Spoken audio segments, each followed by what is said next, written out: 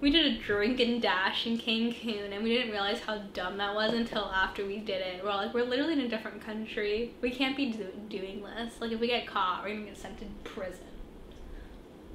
Hey guys, Wait, let me, let me put my phone away. Today we're filming a video. Obviously, my channel has just completely become lesbian like videos. Um, today I'm gonna be reading uh, Melanie or telling her. Mm. Today I'm going to be telling Melanie some lesbian terms, and we're gonna see if she can figure out what they mean, and then I'm gonna tell her. So let's get started. So Melanie, the first term is gold star. Okay. Can you use it in a sentence? Shit. okay. Um. Hey, that girl's a gold star. Oh, hey, that girl's a 10 out of 10. that girl's an A plus.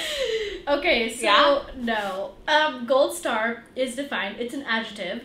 Gold star is a lesbian who has never had sex with a man. Oh, I was way off. U-Haul. U haul? can you use that in a sentence? Why do you want me to use these all in sentences? How am I supposed to know what these means if they're not used in sentences? You can guess. Okay, U-Haul. So what is a U-Haul? A truck? Exactly. Got a big ass. Did you see that girl's U-Haul? okay, so a U-Haul is when queer women become emotionally invested in a relationship very quickly and oftentimes move in together very fast. Would you consider yourself a U-Haul? I don't know, I haven't moved in together with any. No, but Would would I? I don't know. I feel like you like people really fast. You're not wrong there. Isabelle is a U-Haul. Is that how you? Is that how you would say it? No. You're just you just get your. It's not a bad thing. You just get Yeah. emotionally invested very. No, that's true. That's true. Okay, so what's a celesbian? A lesbian. Yeah. A sexy lesbian. It's a famous lesbian. Oh, like a celebrity Like- lesbian. Yeah, see, is how you spell it. oh, I thought it S. Oh, my favorite term. A pillow princess. A pillow princess. Someone who hogs the bed. or someone who loves to be the baby spoon. The pillow princess. Someone who enjoys the receiving role in sex but doesn't like to give. So like oftentimes like they're laying on the Ah, pillow and yeah. like the person's always going down on them, but like they don't do that in return. You're a pillow princess. So You're mean to so say. selfish. I'm not. I'm not. I'm not. I'm not. A lipstick lesbian. Okay, so this is me. A lipstick lesbian. Mhm. Um, a lesbian who's super girly. Yes, yes. I I'm got be like right. ding, ding, ding, ding, ding. Lipstick lesbian is a feminine lesbian. Okay. Is there like a snapback lesbian? So like the tomboy lesbian? A soft butch. so that's a tomboy. Basically, someone who presents mostly masculine but has some feminine traits.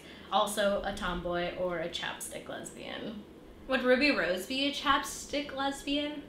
Cause she's like very feminine, but like not, but like tomboy, but Yeah. still really hot. No, yeah, that's true. Probably. I have the biggest crush on Ruby Rose, like hundred percent. Like I just started watching Orange Is the New. I'm in love with her. Okay, so a high femme. A lesbian who likes to get high.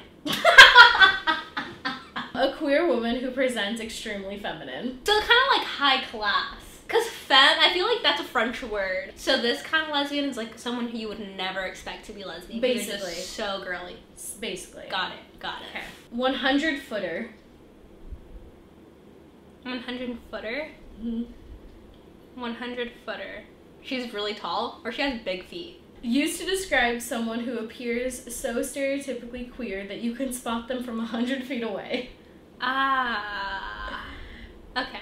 Like mine better. A doppelbanger.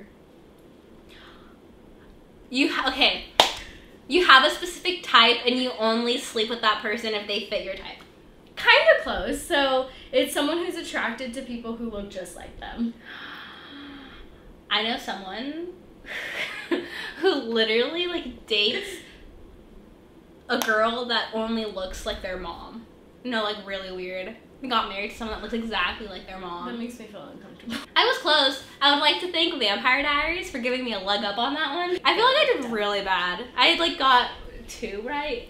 One and a half. Well, thanks for informing me on all of these lesbian terms. Of course, thanks for watching. If you like this video, give it a big thumbs up. If you hated the video, give it a big thumbs up. And subscribe for more videos, um, sometimes weekly, but most of the time not.